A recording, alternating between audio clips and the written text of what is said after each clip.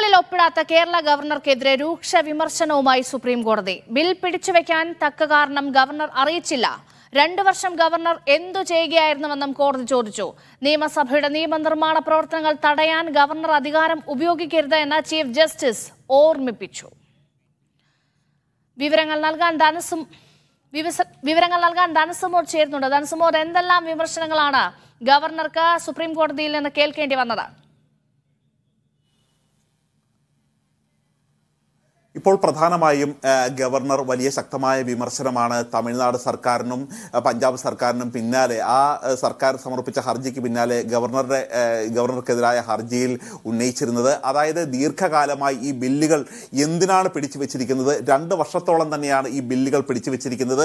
ഇങ്ങനെ ബില്ലുകൾ പിടിച്ചു വെച്ചിരിക്കുന്നത് ഒരു ഭരണഘടനാപരമായി ഒരു സുതാര്യതയില്ലാത്ത ഒരു ഇടപെടലാണ് ഗവർണർ നടത്തിക്കൊണ്ടുപോകുന്നത് എന്നുള്ള ഒരു വളരെ ശക്തമായ വിമർശനം തന്നെയാണ് ഉ- കാരണം അറ്റോർണി ജനറൽ വെങ്കട്ടരമണിയോട് അദ്ദേഹം ചോദി ചീഫ് ജസ്റ്റിസ് ചോദിച്ചത് എന്തിനാണ് ഈ ദീർഘകാലം ഇങ്ങനെ ഒരു ബില്ലുകൾ ഒരു തീരുമാനമാകാതെ ഇരിക്കുന്നത് എന്നുള്ള കാര്യം തന്നെയാണ് ചോദിച്ചത്. മാത്രമല്ല നേരത്തെ ഗവർണറെ ശക്തമായ ഭാഷയിൽ പഞ്ചാബ് ഗവർണർക്കെതിരെ വലിയ ശക്തമായ വിമർശനമാണ് ഉന്നയിച്ചത്.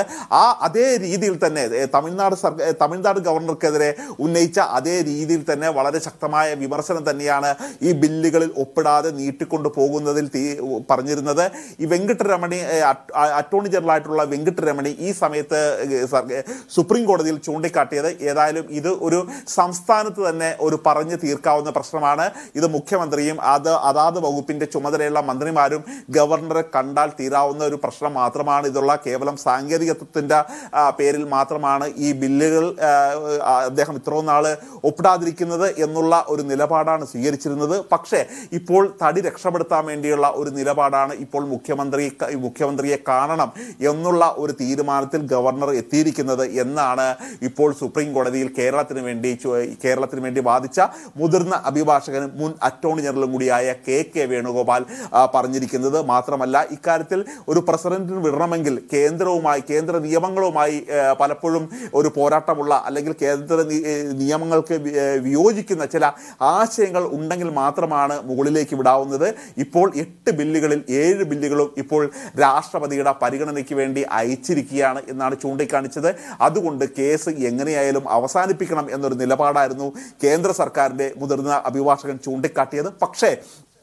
തങ്ങൾ ആദ്യം ഇക്കാര്യത്തിൽ ഈ ബെഞ്ച് ഈ കേസ് അവസാനിപ്പിക്കണം എന്നൊരു നിലപാടിലായിരുന്നു ആദ്യം കരുതിയിരുന്നത്. പക്ഷെ ഇനി അങ്ങനെ ഒരു ഇടപെടാതിരിക്കാൻ പറ്റില്ല. ഇത് വളരെ പ്രസക്തമായ കാര്യമാണ്. അതുകൊണ്ട് ഇനിയും ഈ വിഷയത്തിൽ ഇടപെടും എന്ന വളരെ ശക്തമായ ഒരു നിലപാടാണ് സുപ്രീം കോടതി സ്വീകരിച്ചത്. അതേസമയം തന്നെ രാഷ്ട്രപതിക്ക് അയച്ച വിഷയത്തിൽ ആ ബില്ലുകളുടെ കാര്യത്തിൽ ഇടപെടുന്നില്ല. ഇനി കേരളം കേരളത്തിന് ഈ ഒരു ഒരു ബില്ലിൽ ഒപ്പിടുകയും ഏഴ് ബില്ലുകൾ അയക്കുകയും ചെയ്ത ഒരു സാഹചര്യത്തിൽ എന്താണ് ഇത് കേരളത്തിന് പുതിയതായി പറയാനുള്ളത് എന്നുള്ളത് ഒരു പുതിയ സത്യവാങ്മൂലമായി സുപ്രീം കോടതിയിൽ സമർപ്പിക്കാൻ തന്നെയാണ് ഇപ്പോൾ സുപ്രീം കോടതി നിർദ്ദേശിച്ചിരിക്കുന്നത്. അതിനുശേഷം ഇക്കാര്യം ഒരു മെൻഷനിങ് സമയത്ത് അതായത് സുപ്രീം കോടതി ആരംഭിച്ച് ഉള്ള ആദ്യത്തെ ഒരു സുപ്രീം കോടതി ചീഫ് ജസ്റ്റിസ് പരിഗണിക്കുന്ന ആദ്യത്തെ അരമണിക്കൂറാണ് ഈ മെൻഷനിങ് സമയം. ആ സമയത്ത് മെൻഷൻ ചെയ്യണം എന്നുള്ള കാര്യം കൂടി ഇപ്പോൾ സുപ്രീം കോടതി ചൂണ്ടിക്കാട്ടിയിട്ടുണ്ട്.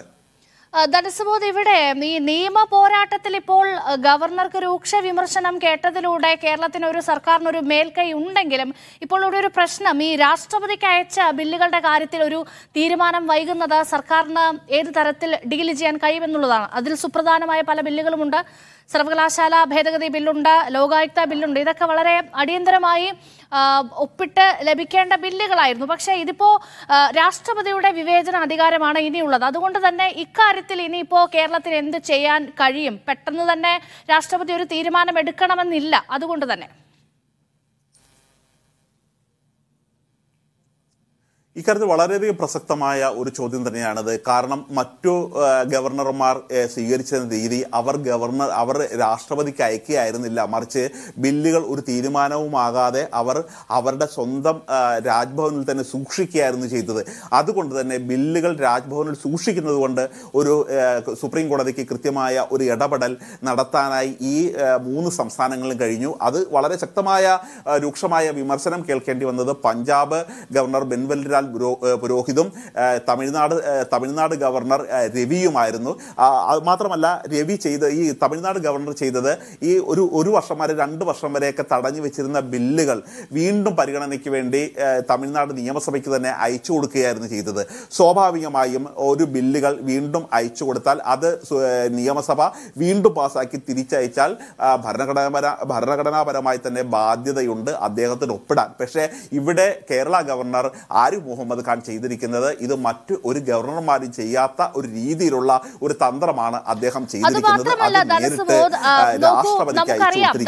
നേരത്തെ സൂചിപ്പിച്ച പഞ്ചാബ് ഗവർണർക്കെതിരായ വിധി. അപ്പോൾ ഈ കോടതി കഴിഞ്ഞ തവണ ഈ കേസ് പരിഗണിക്കുമ്പോൾ കൃത്യമായി തന്നെ ഈ വിധി വായിച്ചു നോക്കണമെന്നുള്ളൊരു നിർദ്ദേശം നൽകിയപ്പോൾ തന്നെ ഇതിന്റെ ഒരു ദിശ എങ്ങോട്ടാണ് പോകുന്നത് എന്ന് വ്യക്തമായി നമുക്ക് വ്യക്തമായതാണ്. അപ്പോൾ ഇവിടെ ഒരു പ്രശ്നം എന്ന് പറയുന്നത് ഇതൊക്കെ മനസ്സിലാക്കിയിട്ടാവണം ഇത്രയും അടിയന്തരമായ ഒരു പെട്ടെന്ന് തന്നെ ഇത്രയും നാളും രാഷ്ട്രപതിക്ക് അയക്കാതിരുന്ന ബില്ലുകൾ ഗവർണർ അടിയന്തരമായി അയക്കുന്നതും മറ്റ് നടപടികളിലേക്ക് വേഗത്തിൽ കടക്കുന്നതും.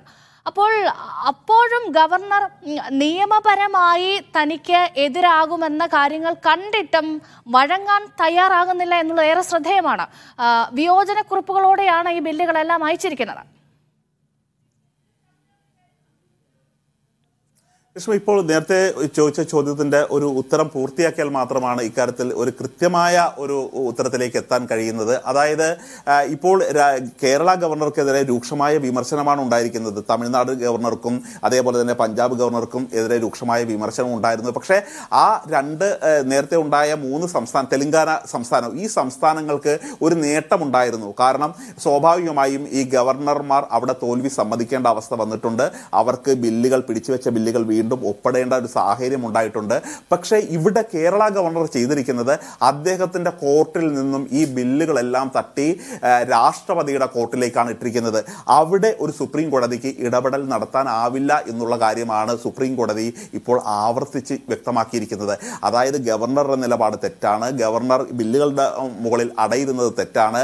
സംസ്ഥാന സർക്കാരിന് അനുകൂലമായ നിരീക്ഷണമാണ് ഉണ്ടായിരിക്കുന്നത്. പക്ഷേ ഇത്തരത്തിലുള്ള നിരീക്ഷണം ഉണ്ടെങ്കിൽ പോലും ഇതിന്റെ ഒരു റിസൾട്ട് എന്ന രീതിയിൽ കേരളത്തിന് പ്രയോജനം ലഭിക്കുമോ എന്ന് ചോദിച്ചാൽ തൽക്കാലം ഇല്ല എന്ന് മാത്രമേ പറയാൻ കഴിയുള്ളൂ. കാരണം രാജ്ഭവനിൽ ഈ ബില്ലുണ്ടായിരുന്നെങ്കിൽ തീർച്ചയായും തിരിച്ചയക്കാമായിരുന്നു. അല്ലെങ്കിൽ ഏതെങ്കിലും തരത്തിൽ ഗവർണർ ഭരണ സമയബന്ധിതമായി ഒപ്പിടണം എന്നുള്ള കാര്യം ചൂണ്ടിക്കാട്ടാമായിരുന്നു. പക്ഷേ ഇപ്പോൾ അങ്ങനെയൊന്നും ചെയ്യാൻ പറ്റാത്ത അവസ്ഥയാണ് ഈ എട്ട് ബില്ലിൽ പൊതുജന ആരോഗ്യവുമായി ബന്ധപ്പെട്ട ബില്ലിൽ ഗവർണർ ഒപ്പിട്ടിരിക്കുകയാണ്. അത് നിയമമായിരിക്കുകയാണ്. ഇനി ഈ ബാക്കി ഏഴ് ബില്ലുകളുടെ കാര്യത്തിലാണ് ഇപ്പോഴും അനിശ്ചിതത്വം തുടരുന്നത്. ഇനി ഇക്കാര്യത്തിൽ തീരുമാനമെടുക്കാനുള്ള കാര്യം തീരുമാനമെടുക്കാനുള്ള അധികാരം രാഷ്ട്രപതിക്കാണ്. രാഷ്ട്രപതിയോട് സുപ്രീം കോടതി ചീഫ് ജസ്റ്റിസിന് ഈ തരത്തിൽ ഗവർണറോട് പറയുന്നത് പോലെ ഒരു കൃത്യമായ തീരുമാനം എടുക്കണം എന്നുള്ള കാര്യം രാഷ്ട്രപതിയോട് പറയാനാവില്ല. അതൊരു ഭരണഘടനാപരമായിട്ടുള്ള ഒരു ബാധ്യതയും കൂടിയാണ്. മാത്രമല്ല ഇത്തരത്തിലെ രാഷ്ട്രപതിയെ പോലുള്ള രാജ്യത്തെ ഏറ്റവും മൂന്ന് സേനകളുടെയും പാർലമെന്റിന്റെയും അധിപയായിട്ടുള്ള ഒരാളെ സുപ്രീം കോടതി ആ തരത്തിലുള്ള ഒരു പരാമർശം നടത്തില്ല. അതുകൊണ്ട് തന്നെ ഇപ്പോൾ താൽക്കാലികമായി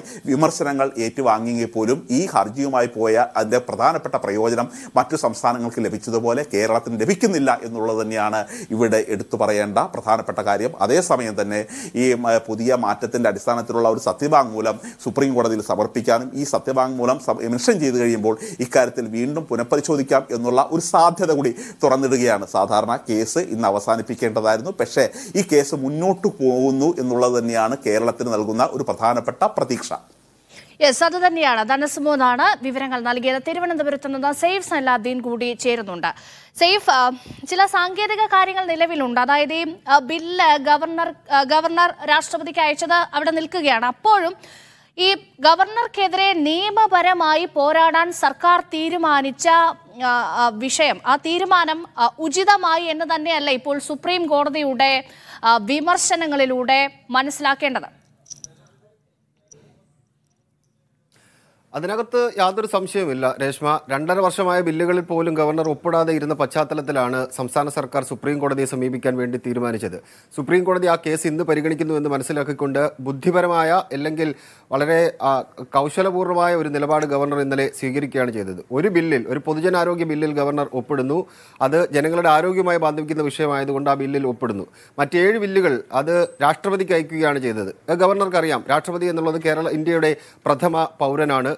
സുപ്രീം കോടതി ആ രാഷ്ട്രപതിക്ക് അയച്ച തീരുമാനത്തിൽ നിന്ന് തീരുമാനത്തെ ഏതെങ്കിലും തരത്തിൽ ചോദ്യം ചെയ്യാനുള്ള സാധ്യതയില്ല എന്ന ബുദ്ധിപരമായ ആരോ അല്ലെങ്കിൽ അദ്ദേഹത്തിന് തന്നെ തോന്നിയ രാഷ്ട്രീയക്കാരനായി അദ്ദേഹത്തിന് തോന്നിയ ചില നിലപാടുകളുടെ അടിസ്ഥാനത്തിലായിരിക്കും അദ്ദേഹം ആ തീരുമാനമെടുത്ത് രാഷ്ട്രപതിക്ക് അയച്ചത്. ആ അത് രണ്ട് തരത്തിലാണ് നമ്മൾ കാണേണ്ടത്. ഞാൻ നേരത്തെ സൂചിപ്പിച്ച പോലെ ധനസുമോദി ഇപ്പോൾ പറഞ്ഞൊരു പ്രധാനപ്പെട്ട പോയിന്റും അത് തന്നെയാണ്. രാഷ്ട്രപതിക്ക് അയക്കുമ്പോൾ സ്വാഭാവികമായിട്ട് സുപ്രീം കോടതിക്ക് രാഷ്ട്രപതി ഒപ്പിടണം എന്ന് പ്രഥമ പൗരനോട് പറയാൻ കഴിയില്ല. അങ്ങനെ ഒരു പ്രശ്നം നിലനിൽക്കുന്നുണ്ട്. അതുകൊണ്ട് ആ ഏഴ് ബില്ലുകളുടെ കാര്യത്തിൽ സംസ്ഥാന സർക്കാരിന് ചെറിയൊരു പ്രശ്നം നിലനിൽക്കുന്നുണ്ട്. ഒരു തിരിച്ചടി നേരിടുന്നുണ്ട്. ആ ബില്ലുകൾ ഇനി എപ്പോൾ തിരിച്ചു വരുമെന്ന് ആർക്കും പറയാൻ കഴിയില്ല. രാഷ്ട്രപതിക്ക് അയക്കുകയാണെങ്കിൽ രാഷ്ട്രപതിക്ക് ഇന്ത്യയിലെ മൊത്ത കാര്യങ്ങളും മൊത്ത ബില്ലുകളുമായി ബന്ധപ്പെട്ട കാര്യങ്ങളും എല്ലാം തീരുമാനിക്കണം. പാർലമെന്റ് പാസ്സാക്കുന്ന നിയമങ്ങളെക്കുറിച്ച് അതിനകത്ത് ഒപ്പുവയ്ക്കുക അത് പഠിക്കുകയൊക്കെ വേണം. ഇതിനിടയിൽ ഒരു സംസ്ഥാനം അയക്കുന്ന ഒരു ബില്ലിൽ എത്ര കാലത്തിനകം തീരുമാനമെടുക്കും എന്ന കാര്യമൊക്കെ ചോദിച്ചാൽ അത് ഒരുപാട് വൈകും. ഒന്നോ രണ്ടോ വർഷമൊക്കെ സാധാരണഗതിയിൽ എടുക്കാറുണ്ട്. അതുകൊണ്ട് തന്നെ ആ ബില്ലുകൾ ഇനിയിപ്പോൾ എന്ത് ചെയ്യും എന്നുള്ള ചോദ്യം സംസ്ഥാനത്ത് പ്രസക്തമായി നിലനിൽക്കുകയാണ്. പക്ഷേ ഇവിടെയും തുറന്നിടുന്ന ഒരു കാര്യമുണ്ട്. ഇത് എന്തുകൊണ്ട് രണ്ടര വർഷം രണ്ട് വർഷം ഗവർണർ ബില്ലിൽ എന്ത് ചെയ്യുകയായിരുന്നു എന്ന ചോദ്യം ഉന്നയിക്കുമ്പോൾ രാഷ്ട്രീയ പോരിന് താനില്ല എന്നായിരുന്നു. സി അവിടെ അവിടെ പറഞ്ഞത്. എ ജി എ ജി ആണെന്ന് തോന്നുന്നു. എ ജി അവിടെ പറഞ്ഞത്. അത് ഗൗരവമായ വിഷയമായിട്ട് ആ വിഷയത്തിൽ കോടതി ഇടപെടും എന്ന് പറയുക വഴി കേരളത്തിന് വീണ്ടും ആ വാതിൽ തുറന്നിട്ടിരിക്കുകയാണ്. ഒരു ഇതിനൊപ്പം തന്നെ ഒരു സത്യവാങ്മൂലം നൽകുക അല്ലെങ്കിൽ അതിനൊപ്പം തന്നെ അതിൽ ഇപ്പോൾ നൽകിയിരിക്കുന്ന ഹർജിയിൽ ഒരു ഭേദഗതി വരുത്തിക്കൊണ്ട് ഒരു ഹർജി വീണ്ടും സമർപ്പിക്കുക എന്നൊരു വാതിൽ തുറന്നിടുകയാണ്. ഇനി അങ്ങനെ തുറന്നിട്ടാലും രാഷ്ട്രപതിയുമായി ബന്ധപ്പെട്ട വിഷയത്തിൽ ഏതെങ്കിലും തരത്തിൽ സുപ്രീം കോടതി നിർദ്ദേശം നൽകാൻ ഇടയില്ല എന്നൊരു വസ്തുത നിലനിൽക്കുന്നുണ്ട്. ഇവിടെ പ്രസക്തമായി നിൽക്കുന്ന മറ്റൊരു പ്രധാനപ്പെട്ട കാര്യം കൂടിയുണ്ട് രേഷ്മ. ഇത് ഇപ്പോൾ ചോദിച്ചിരിക്കുന്ന ആ ചോദ്യം രണ്ടര വർഷം എന്ത് ചെയ്തു എന്നുള്ള ചോദ്യം. അത് വരും കാലങ്ങളിൽ സംസ്ഥാന സർക്കാരിനെ സേഫ്, ഞാനൊന്ന് ഇടപെടുകയാണ്. ചേരുന്നുണ്ട് വിവരങ്ങൾ നൽകാൻ. ധനസുമോദ് ഇപ്പോൾ കോടതി പറയുന്ന ഒരു പ്രധാനപ്പെട്ട കാര്യം മുഖ്യമന്ത്രിയും മന്ത്രിമാരും ഗവർണറുമായി കൂടിക്കാഴ്ച നടത്തണം. ഫലമുണ്ടായില്ല എങ്കിൽ ഇടപെടുമെന്ന സൂചന കൂടി കോടതി നൽകുന്നുണ്ട്.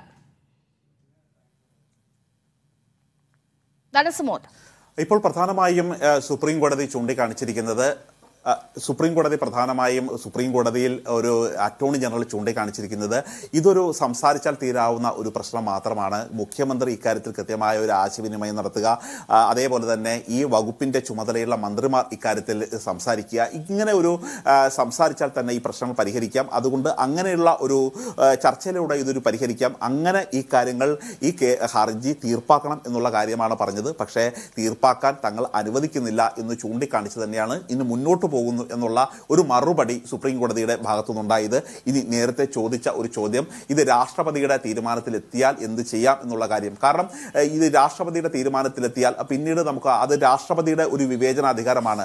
ഇത് ഏതൊക്കെ തരത്തിൽ നീങ്ങണം ഇത് ഒപ്പിടണോ വേണ്ടയോ എന്നുള്ള കാര്യം. ഇപ്പോൾ കൊക്കക്കോള ബില്ലുമായി ബന്ധപ്പെട്ട നിയമസഭ നേരത്തെ പതിറ്റാണ്ടുകൾക്ക് മുമ്പേ ഇടതുപക്ഷവും വലതുപക്ഷവും ഒരുമിച്ച് ഐക്യകണ്ഠമായി പാസ്സാക്കിയെടുത്ത ബില്ലുകളാണ് പിന്നീട് രാഷ്ട്രപതിയുടെ രാഷ്ട്രപതി ഭവനിൽ എത്തിക്കഴിഞ്ഞിട്ട് പതിറ്റാണ്ടുകളായും ഒരു തീരുമാനമില്ലാതെ മുന്നോട്ട് പോകുന്നത്. അതുകൊണ്ട് തന്നെ ഇങ്ങനെയുള്ള കാര്യത്തിൽ രാഷ്ട്രപതി ഈ ഒരു ഗവർണർ ഇക്കാര്യത്തിൽ വലിയൊരു കൗശലം തന്നെയാണ് പ്രയോഗിച്ചത് എന്ന് നമുക്ക് പറയാതെ വയ്യ. കാര്യം മറ്റു ഗവർണർമാർ ബില്ലുകൾ തിരിച്ചയക്കുമ്പോൾ സ്വാഭാവികമായും തന്നെ ആ ബില്ലുകൾ വീണ്ടും രാജ്ഭവനിലേക്ക് എത്തിയാൽ അദ്ദേഹം ആ ഗവർണർ ഒപ്പിടാൻ ബാധ്യസ്ഥനാണ്. പക്ഷേ ഇതിപ്പോൾ തന്റെ ചുമതലയിൽ നിന്ന് മാറ്റി രാഷ്ട്രപതിയുടെ ചുമലിലേക്കാണ് ഇപ്പോൾ കേരള ഗവർണർ ഈ ബില്ലുകൾ അയച്ചിരിക്കുന്നത്. അതുകൊണ്ട് തന്നെ ഈ വരുന്ന ഈ പ്രധാനപ്പെട്ട വാദങ്ങൾ ഇനി നടക്കുമ്പോൾ മാത്രമാണ് ഇനി എന്ത് എന്നുള്ള കാര്യങ്ങൾ തീരുമാനിക്കുന്നത്.